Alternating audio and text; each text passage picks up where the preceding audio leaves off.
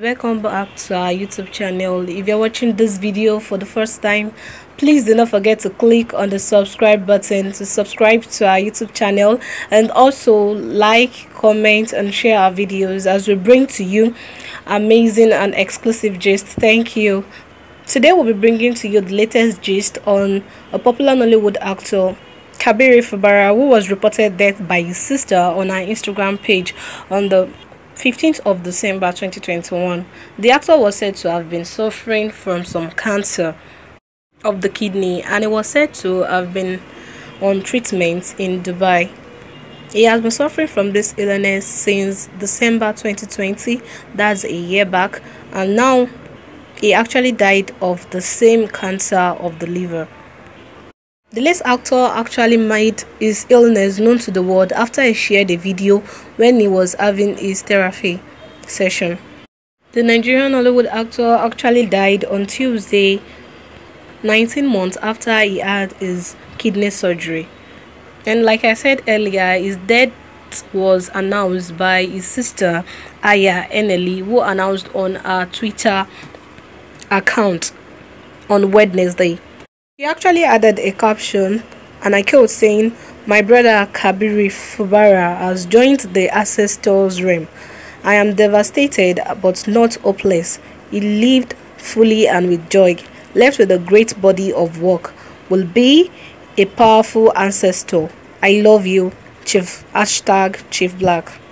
Actually, the late actor was popular for his roles in God's Calling movie and also he was also popular for his roles in Smart Money Woman series and many other movies that he has acted in greatly and also performed his best.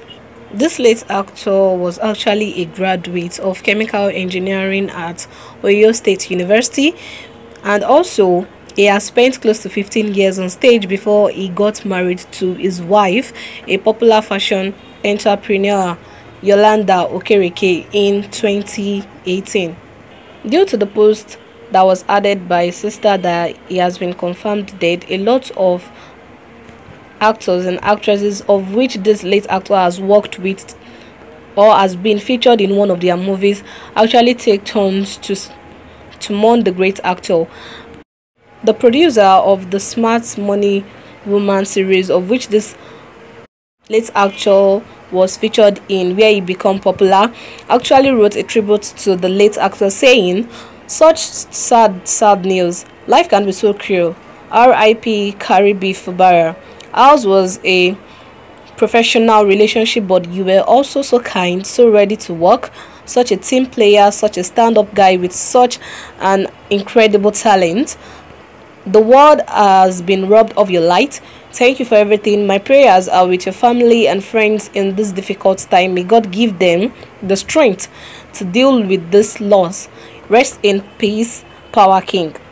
Also, an actress of which, when he was acting, when he was still alive, they both act a role together. Also, take to her Instagram page to mourn the late actor. She also wrote a tribute saying, Rest in peace, Caribbean.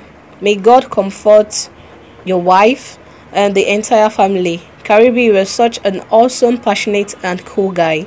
From New York to Nigeria, we've worked together.